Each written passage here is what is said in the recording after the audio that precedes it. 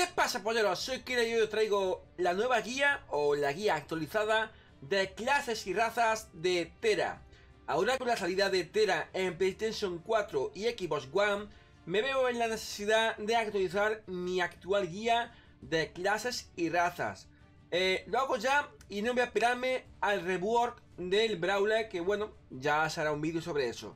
Así que sin más, os voy a hablar un poquito de cada clase y de la raza, ¿vale?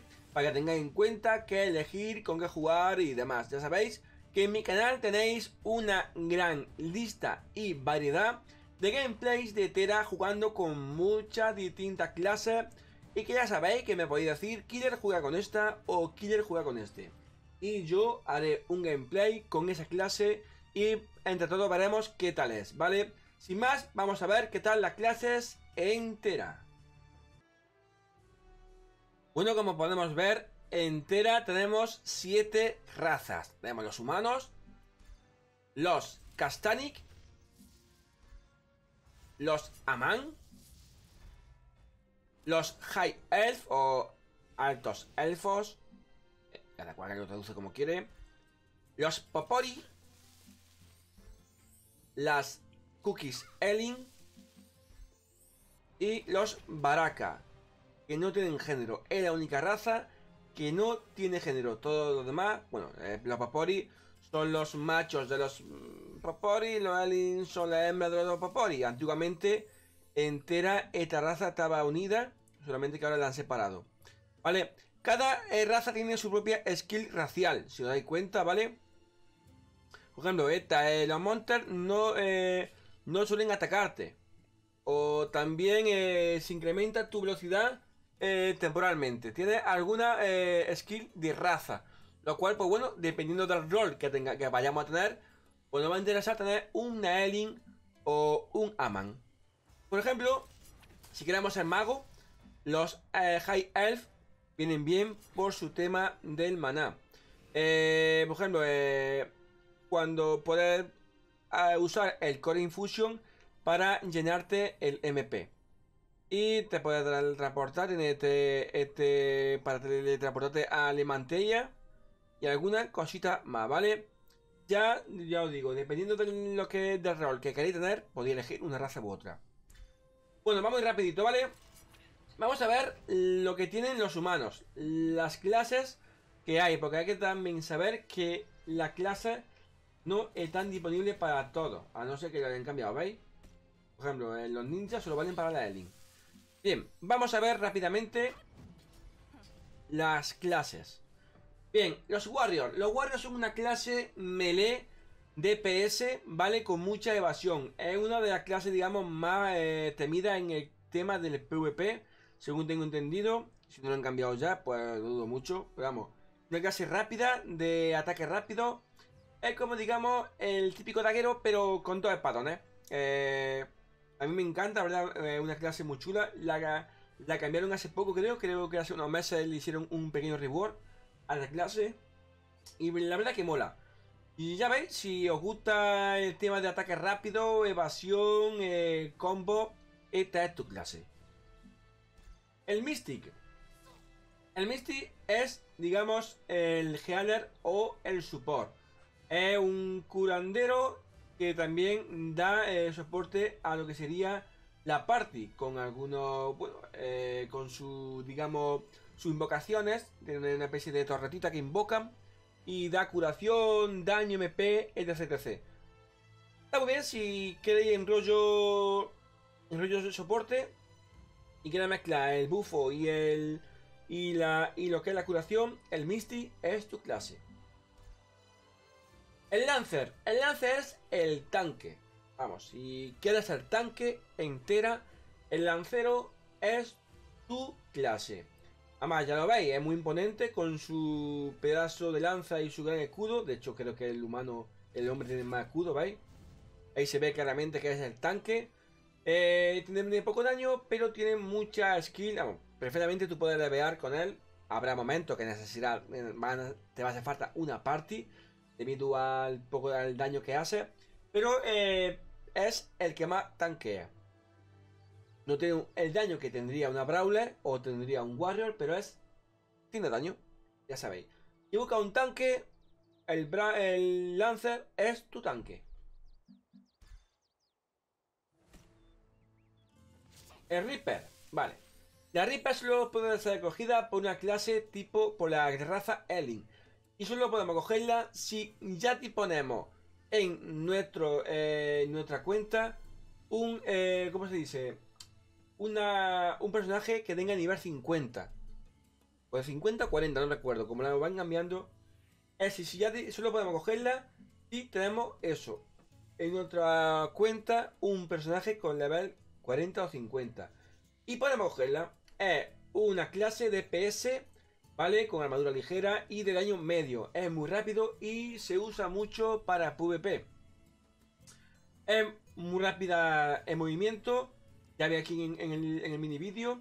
Tiene skill, mucha skill de área. Es una clase de, de ataque directo. De daño rápido. De lo que sería combinar combo. Y no dejar de cansar al enemigo. El Slayer es otra clase también muy buena y muy usada para PvP. Tiene muchísimo daño, aunque su ataque no es tan rápido como lo tenía el Warrior. Pero bueno, eh, ya sabéis lo que puede llegar a ser un espadón. La espada de mano, pues, hace mucho daño. No hay más que decir. ¿Te gusta una, una clase? Que tenga mucho daño, ¿vale? Que sea rápida no tanto como el Warrior, pero que sea rápida y ya sabéis que daño bruto. Pues bueno, el Layer es una clase muy buena si buscan algo distinto a lo cotidiano, si ya lleva tiempo jugando a Tera.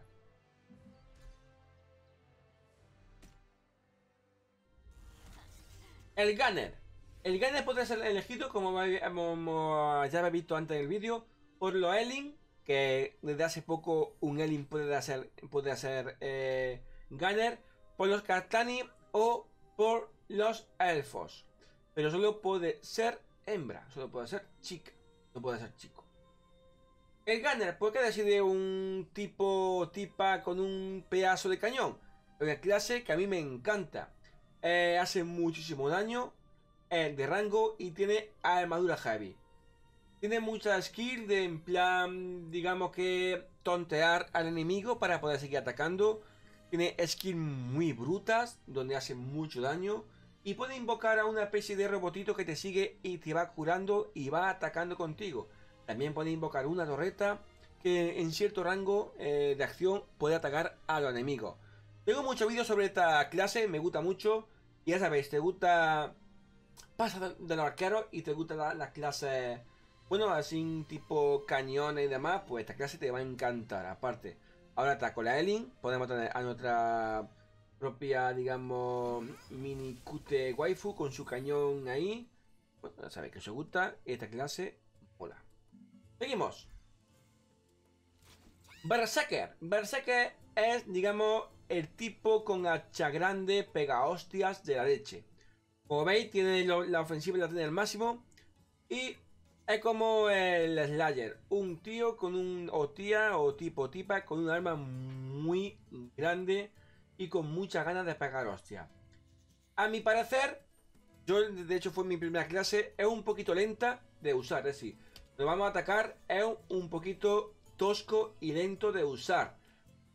La mayoría de sus ataques se recargan para hacer mucho daño. Y eso es lo que voy, hace mucho daño.